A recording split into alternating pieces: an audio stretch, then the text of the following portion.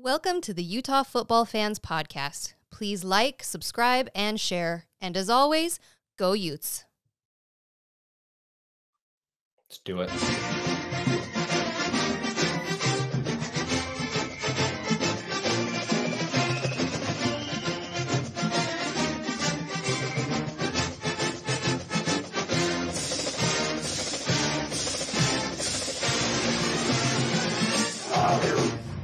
Welcome to the Utah Football Fans Podcast. My name is Bryn here with James.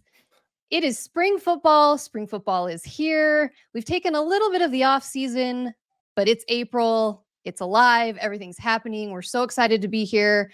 Please make sure you are subscribed and you're liking and following the channel. And a huge thank you to our sponsor, Thomas Orthodontics. Please look him up at thomasortho.com. I'm rushing through all of this because we are so excited today. We want to get to our special guest. This has been like a dream of ours for, we've talked about this for a while, James. I probably since we started the Mm-hmm. podcast that we wanted to have this man on, the one and only legend in Pac 12 broadcasting. I think I can say that. Yogi Roth. Yay! Welcome, Yogi.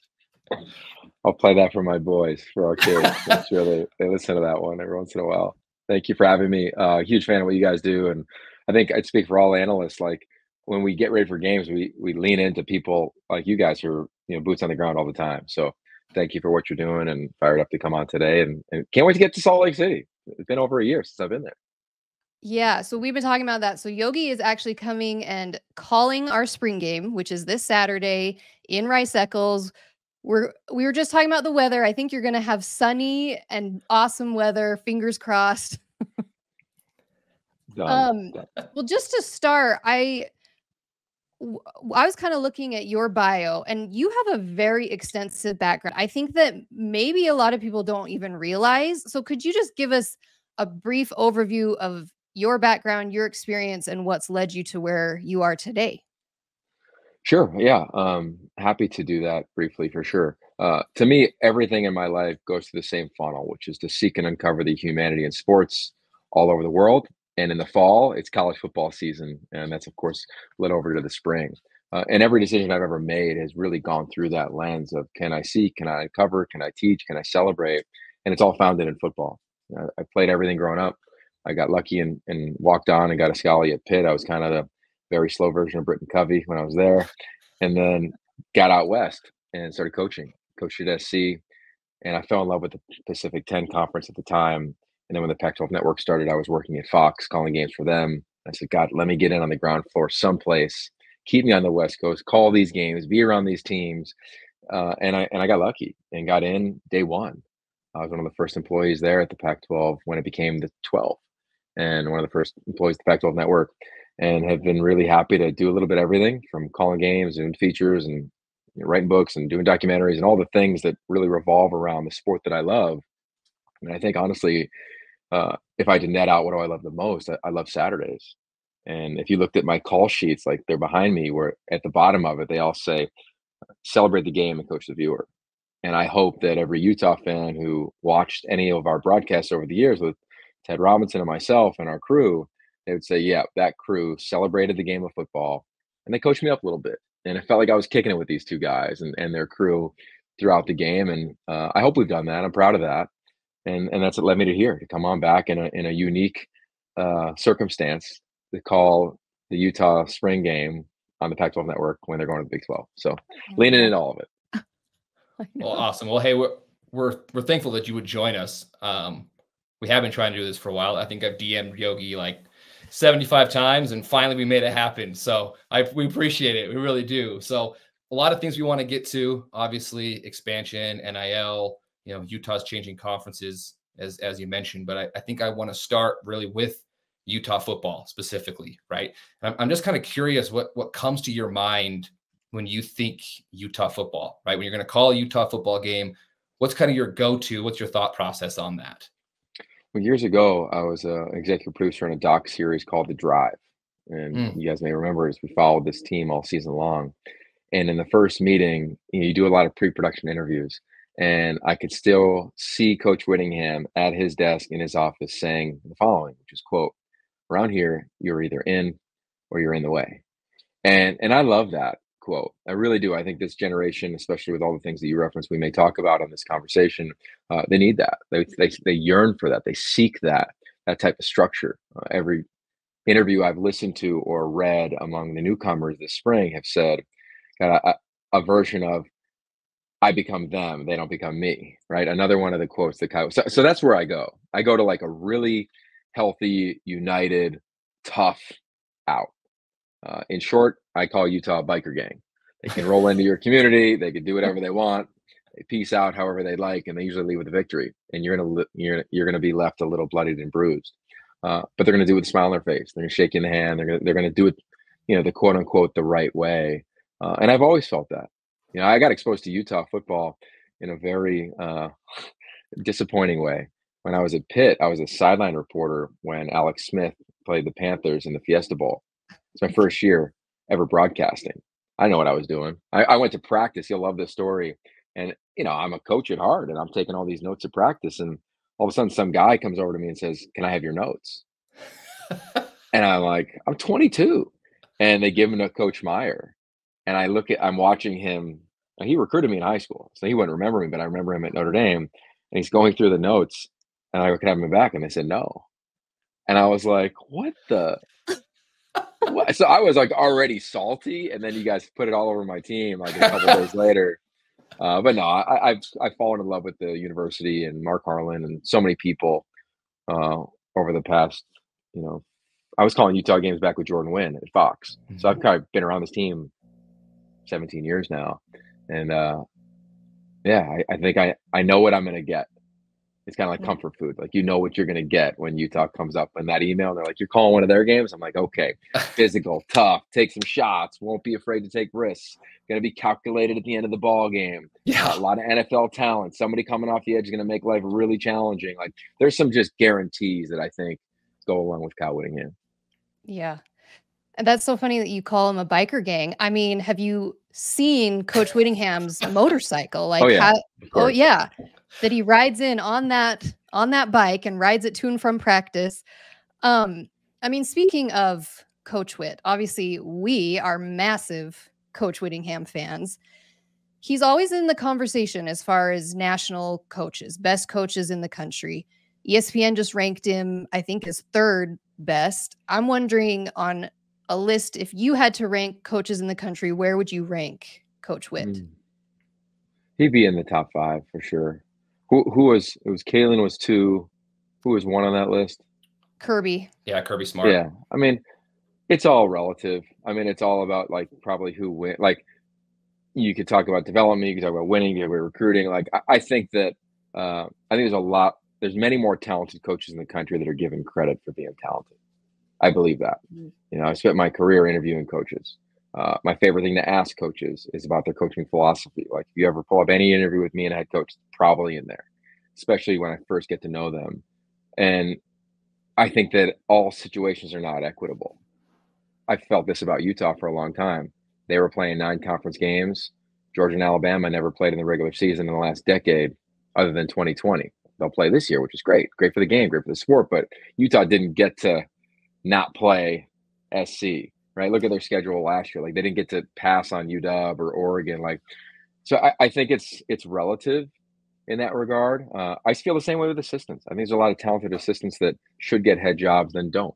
Mm-hmm. You know, I always go back to a story on a guy named Doug Nussmeier, who was a coach in the NFL, longtime NFL coach. He was uh, the OC at UW, and then he left to be the OC at Alabama. And when Chris Petersen was offered the job to be the head coach at Washington, if he turned it down, they were going to hire Doug. Well, Doug didn't get the job. Chris gets it. And from that point on, Doug goes from Bama to Michigan to Florida and then goes to the NFL. He only got smarter, but because it wasn't like the perfect timing, he hasn't be- become a head coach at a blue blood Power Five program. So I, I really believe that there's a ton of talent out there. I understand why those rankings happen. It's it's fun. Uh, who doesn't like to trumpet when their guy gets you know a top yeah. three three nod? Um, but all of them. I mean, Kalen has his own story. I've gotten to know him extremely well. Kyle and his journey, uh, Kirby and his journey at his alma mater. Like, there's, I mean, there's a lot. There's many more talented coaches than get credit for being talented, and the criticism is warranted because they're making so much money, but it's often not that accurate or it doesn't have all the context that every coach is dealing with in real time. Hmm. I'm curious to what your thought is on we're pretty insulated, right? I mean, we're we're all from Utah. We're huge Utah fans. Went to the school, all that sort of thing. So so we have a pretty high perception of, of Utah, and I think that people from the Pac-12 have really grown to understand Utah. But I'm curious, as you're talking to people nationally, what what's their opinion of Utah? Like when Utah football comes up, is it they're a top 20 program, or oh, that's kind of a cute story? Like, what does the national perception look like? Yeah, it's a it's a really fun question, James. Like the national the national perspective of people who get paid to talk about college football for a living is dramatic, resounding respect for what goes on within the walls of Utah. And they know that they could throw down physically with any big time program around the country. I felt this for years that if the Pac 12 is going to send a team to play LSU, to play Alabama, to play you name it, play Ohio State, Utah, Oregon, pending the year, were the mm-hmm. two teams I was going to send. Obviously, Washington would have been that this year, but Utah was always in that mm-hmm. conversation because you knew they could handle it in the trenches. They always were there. I think what the lazy fan, and I have no problem calling out lazy regional based fans, is that they still don't think of Utah in the same conversation as Ohio State, Michigan, even though they've beaten Michigan, or, or yeah, Alabama, even though they beat Alabama. Like I still don't think that they're in that mm-hmm. conversation. And I think that's okay. But that we have to put context around that conversation is rooted in a hundred plus years of history that I think is just what college football is. And I believe this about Utah, eh, like a lot of coaches feel about their program. The minute you get there and see it, you're like, whoa. Because it feels like any of those other big time places. It's got what five or six radio stations every day talking about Utah football 365. I feel like I, I go on them all season long. I'm like, you have another one? There's another one. There's another one. I mean, that, that's just what Utah is. It's a beautiful city that doesn't have an NFL team. Utah is that. They have every resource imaginable. Uh, and I love that the playoff is expanded because truly I believe that the the ridiculousness, which was four teams in the CFP with five Power Five leagues, probably you could argue positively impacted Utah because they came from a lesser uh, conference coming mm-hmm. into the Power Five, so that obviously helped them, but also impacted them negatively. Like you look at the year they lose to Oregon in the title game and they're walking into the playoff. I mean, you can go down the years and they're a playoff caliber team. I mean, that year they were I think the best defense statistically in college football until like eh, since 1984 heading into that game. And Justin Herbert runs his own read and you know, it's a route. So I, I just bring it up. Thanks, thanks yeah. that up. I, I, think this era is going to be great for them. Like I think they walk into the Big 12 and they become the bully in that league. Mm-hmm. Uh, they're an anomaly in that league in terms of their style of play. Mm-hmm. Not going to be easy. It's hard for anybody going defeated. Uh, but I don't think this program should be slowing down. And I think hopefully with the expansion of people that get invited to the party at the end of the season, Utah will they'll have every opportunity to punch that every year as the Big 12 representative. Yeah. So, I mean, speaking Big 12, this is going to be a whole new experience for us. You know, Utah, we're no stranger to change. I mean, joining the Pac 12, that was a whole new experience for us. And now, Big 12. Tell Utah fans what we should expect joining the Big 12. And you kind of touched on this, but how is Utah's style going to fit in in with those other teams? It's a great question. Um, I am a believer now that in college football, while conferences do exist, and I'm a big fan of conference. I've worked for a conference for 20 years.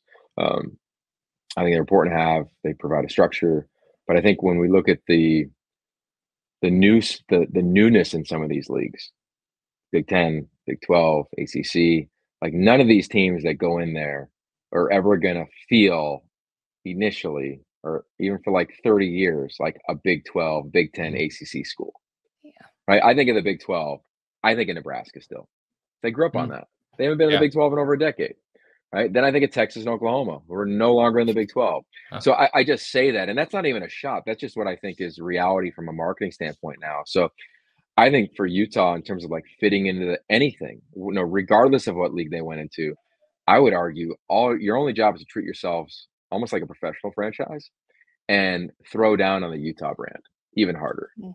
I'd say that for the Big Ten, and, I, and I'm probably going to be calling a bunch of Big Ten games. Like I, I, love, I love that league and what it stands for.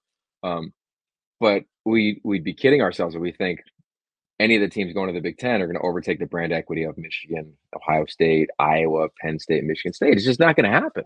It's going to be cool. It's going to be fun. Uh, I'm leaning totally into it. But I think what do they need to bring? They need to bring in like Utah.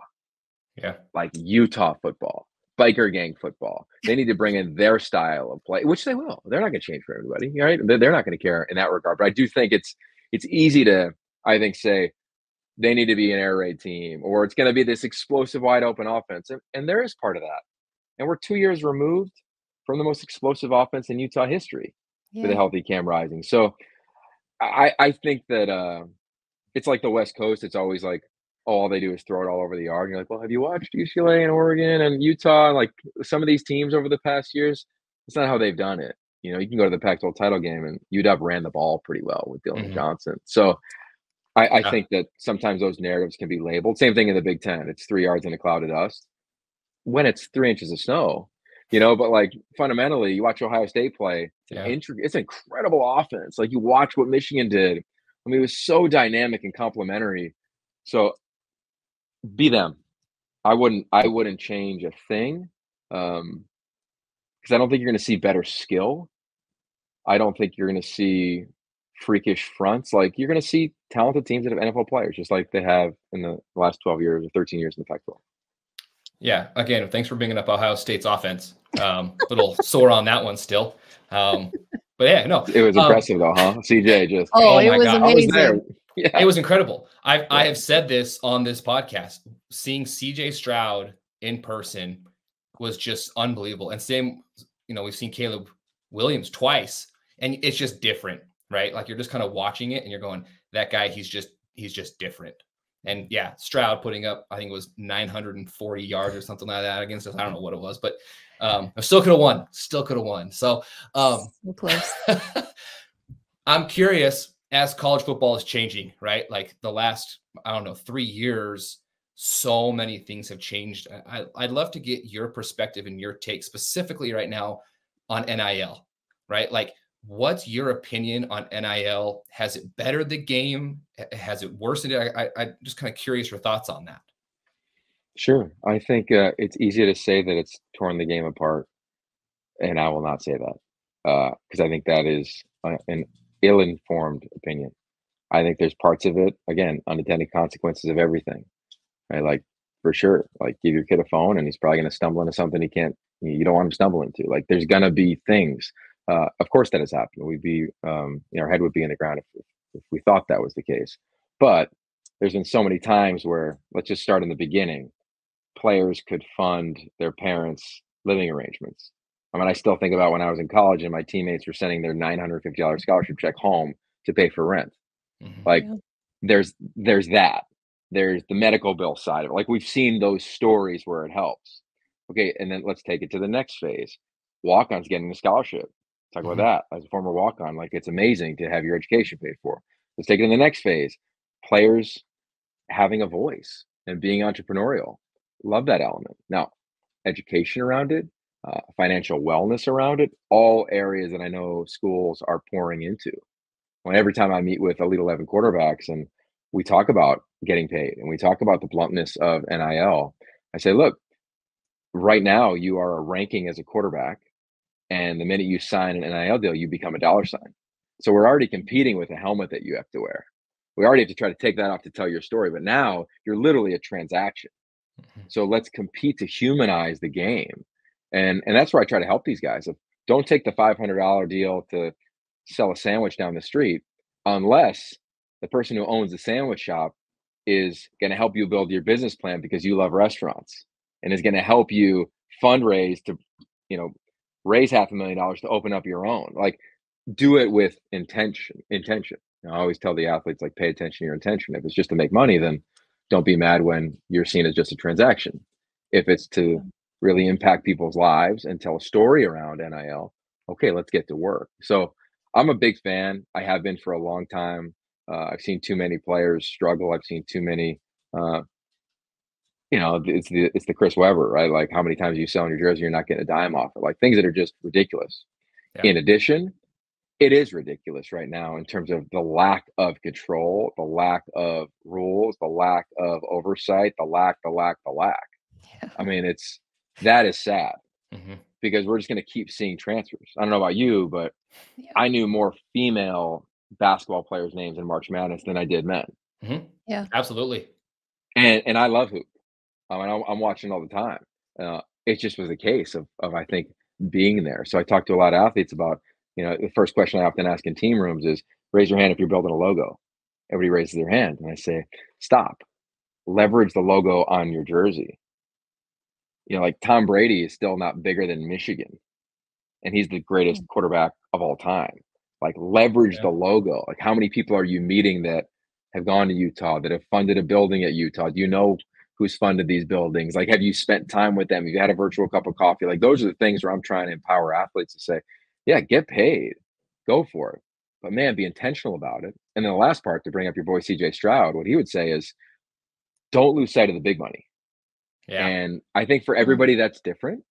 I don't know if Cam Rising is gonna be a first round pick. Like he might be at peak earning years right now at mm-hmm. Utah. Yeah. I hope not. I hope not, but he might be. Right. Like Money Parks, is he gonna be a first round draft pick at wideout? Probably not. Is he in peak earning years? Like maybe. So leverage that. So maybe your big contract isn't your second one in the NFL or a rookie signing bonus, but maybe it's how you leverage the Utah fan base, Utah alums for that job after your third team releases you in year three. And you're like, what do I do now? Because everybody has to deal with what do I do now? Yeah. Oh, that's great. Uh, what about when it comes to like the conference realignment? What, what, I mean, obviously it's been madness the last couple of years and I, from all the reports everyone's been seeing, I don't think we're done. Um, what, what's kind of your, been your? I mean, obviously you've been right in the middle of it, right? So, what's been your experience? What's been and, and the future? What do you see happening? James, this is my CJ Stroud moment, right? Like you just, just rip the band-aid off, just rip the band-aid again. no, man, I mean, look, it's it's been a challenge. Um, I think we'd all be lying if we didn't say that. Uh, to live it and to know what this league has stood for, to watch college football be flipped upside down was mm-hmm. was brutal in August. I think what made it even worse is that every campus I went to, every school president, every AD, everybody would say the same thing, which is, "I wish it didn't happen," even though it did. Um, and the timing was something that none of us could have predicted. Where like it seemed like everything hit, and then the reality of like, you know, who's who's truly pulling strings. You know, whether it's school presidents, it's a combination of school presidents, conference commissioners, media rights holders. Like, I mean, there's so much mm-hmm. yeah. uh, when it comes to that. And none of, I don't, I could, I'm over all that because none of it matters anymore. Like we, we landed where we landed. I think to your point, I, I don't think it's done. I'd be curious to see what it looks like. I'd be curious to see who's in charge.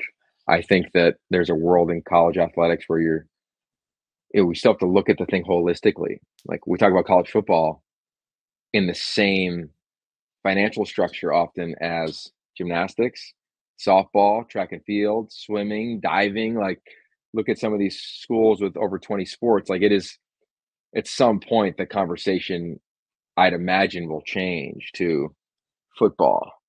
What is that? And then there's just going to be, again, unintended consequences of what does that mean for these other sports? Do they become club sports? Can we pay for travel for like there's just realities around that. Uh, so I don't know. Um, I, I, go back to the same thing how I started this conversation. My job is to seek and uncover the humanity in sports around the globe, and when I'm in America, it's college football. Uh, that's what I want to keep leaning into. And I called the coach after the season, and I said, "God, it was such a great year. How come it, this sport feels so dark right now?" Yeah. Because that was when the portal was going, and it was like portal yeah. coaches, uh, NIL deals, like under the table deals, lawsuits, whatever. And I think for me, my greatest joy is still sitting at the 50. And the build up to that, as I'm looking at my screens in front of me, is getting to know the stories and reliving and rehashing the Micah Pittmans, Cam Rising, Brant Kuithe, uh, you know, whomever it is, to, to, to elevate and celebrate on game day. And, I, I'm not going to lose that. And the day I do, I'll uh, I'll move on because I, I'm competing to be an optimist, uh, not a pessimist around this sport.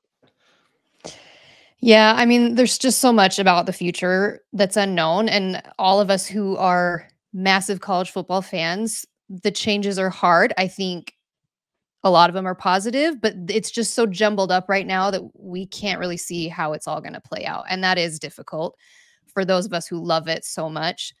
Um, why do you love look, it? If you don't mind me asking, what what, what do you do two love? love so much? Yeah, why do you two love college football? Oh, that is a great question. It's kind of almost this intangible thing, like being in the stadium on a Saturday when you beat USC on the last play, Cam Rising rushing into the t- into the end zone, like it's you can't describe the excitement. I've almost passed out at numerous Utah football games, which that doesn't happen like at any other experience in my life. I don't know, just being there at a game, it really is it's kind of intangible. I don't know, James, how do you answer that? I don't know how you answer that. I, I love it. Yeah, it's just for me, it's something I kind of grew up doing, right? Going to Utah football games with my dad and and watching Utah specifically change since the 90s, where you could walk in and almost sit wherever you wanted to, right? Like, and then watching that transition happen when Urban Meyer came, and now it's packed in there. They've had however many 80 something sellouts consecutively, and just the just the atmosphere, the game day. It, it's it yeah, I'm with you, Brandon. It's hard to kind of put into words, but it's just I don't know. It's just that thing you look forward to for me, again, it it's it has some history to it. And now going back, going back to the games with my dad, sitting there with you know family and friends, and you make buddies everywhere. It's just you can kind of all share in the in the joy and the misery and and it's it's great. yeah, there's cool. there's plenty of heartbreak in it as well. But... Plenty of heartbreak. Yeah. My wife always asks me like, why why do you do this to yourself? Right? When when they are they're right there against Washington this last year, right? They're right there and they lose and, and it's just depression. Why, why do you do this to yourself? It's because I love it. That's why. I, I love it. That's why. oh, that's great. That's cool. Cool. Thanks for answering. Yeah, of um, course. I mean, Yogi, this is probably a hard question to answer, but thinking back on the Pac 12, which is such a storied, historic conference, and we kind of don't know where it's going to go in the future, but looking back on it, are there a couple moments in Pac 12 history that really stand out to you? Maybe your favorites, maybe you were there for, maybe you were just watching them. Like, can you think of a couple that really stand out to you? Well, I'll, I'll say this I'll add, even when you coached at USC, yeah. right? That was Pac 10 era. I, would be curious if, you know, obviously a couple things stood out from that, I would imagine. yeah. Oh, I mean, so much. Uh, as you referenced that question, I kind of had it in two different categories like coaching how can't you talk about I mean the day I remember the night Pete called me and it's midnight East Coast time. And he's like, Hey, what do you think about coming out? And I was in Pittsburgh getting my master's degree and something and calling games and doing radio. And I remember saying, Yeah, I just don't want to coach because I'd seen the coaching life. Oh. And he goes, Cool, do recruiting. And I said, Can I get my master's? He goes, Yeah, we got you. Come on out to the beach, man. And I quit that the next day. My boss was so mad at me. Good guy, so mad at me. Uh, and I dipped out.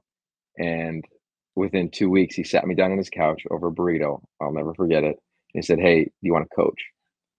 And I went and met with Sark, Steve Sarkisian, and Lane Kiffin. And they were like, dude, there's no better place other than the Patriots in the world right now. Like, you're going to kill it no matter if you do TV or coaching. And I was like, of course. And I basically slept in the office for four years. And I feel like I got my PhD in football in organizational leadership, a legitimate master's degree from SC. Like that phone call, I know how fortunate I am in my 20s to have a man who took the clay that my parents curated and shaped, but he molded it. Like he molded me into the father I am and the husband I am and the analyst I am. Like so much of that time was he and I sleeping in the office because he didn't want to drive because he, he lived 30, 40 minutes away and it'd be midnight and I was just like, screw it, I might as well sleep on this couch in Sark's office. And we would just talk about life. And from that job, I wrote his book. I got an in. Like I, I know that that SC jumping off point, it launched Lane and Sark into head coaching.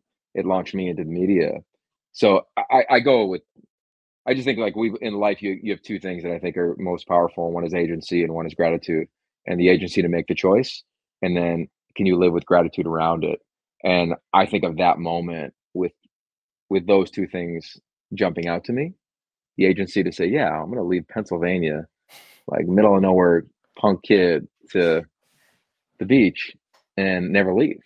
So I, I think of, I mean, there's so many like I could think of, but highlights then, of course, we lose to Texas. That game was powerful. Rushing down to the locker room to hear what is he going to say? What did he tell the team? And he said, "Look, 19 seconds are never going to define us." You know, and wow. and it was awesome. Like it was just a moment. Uh, the night before the game, he was telling me, "Hey, we, if we win a third one, like I don't know what I'm going to do next." Like it, there were so many, so many wow. moments there. And then as an analyst, um, Marcus's Heisman speech that night in New York, I thought changed youth football for about a decade because it was such about his Ohana and his family. Mm-hmm. Uh, love that that man. Uh, Caleb's Heisman speech when he said, "quote I was taught at a young age to look in the mirror and love the man looking back." When I talk to young quarterbacks on like the mental health of the game, like I show that clip every time. Those two are, are big. I think calling games like I can't help but uh I go back to like the Darren Carrington Oregon Utah game. Why though? I called like, that game. Well, I called that game and remember it. Oh. It was like, and then and then the the next year when like they didn't spike it, or two years later, whatever it was, like there there was some some moments there in those games. Uh, I mean, we've called some great games. I called SC at Oregon State last year, walk off. Caleb oh. Williams, like like this past season, I felt like we every week was like a nail biter. Yeah. But I probably net out to answer and put a bow on the question is uh, I'm going to walk away from this league with true relationships that shape my life. I came in punk 22 year old kid, left coaching with a master's degree, and truly shaped by Coach Carroll to broadcasting and learning on the fly with partners like Steve Physioc, Hall of Fame broadcaster, Kevin Calabro, he'll be a Hall of Famer, and Ted Robinson, who's already a Hall of Famer. Like those are my three guys. Wow. Like, and I went from single to relationship to married to kids uh, to now in my 40s. Like this has been a 20 year journey, and I just think of those people: Ashley Adamson, Mike Yam, like mm-hmm. all these people I invited to my wedding. You know, like I, I go to that. You know, honestly, like you don't remember a lot of the games. I remember certain games. I remember calling a Arizona SC game when I was literally on the sideline and the guy at ESPN called me and said, Hey, can you call the game? Our announcer just lost his voice. Oh and, he, and, I was like, sure. And he goes, Have you been drinking? And I said, No, no, I'm good. The next you know, 10 minutes later, I'm calling the game on live national radio for ESPN and like a hoodie. Wow. So like there, there's so many of those, but it's gonna net out with the people. That's awesome.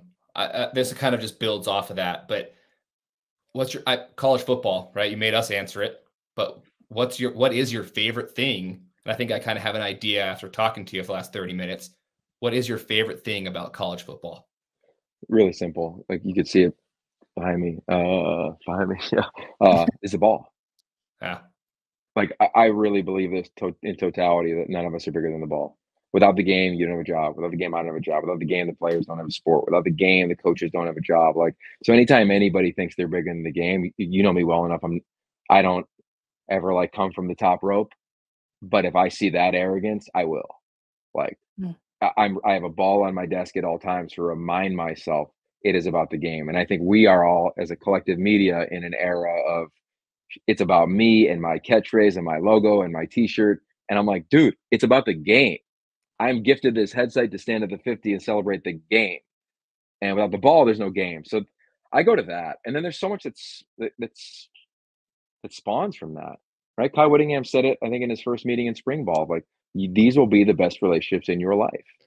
And he's right. Like, you will meet so many people. Like, football has taken me literally across the world. I own a football franchise in Paris, a small part of one, because of this game.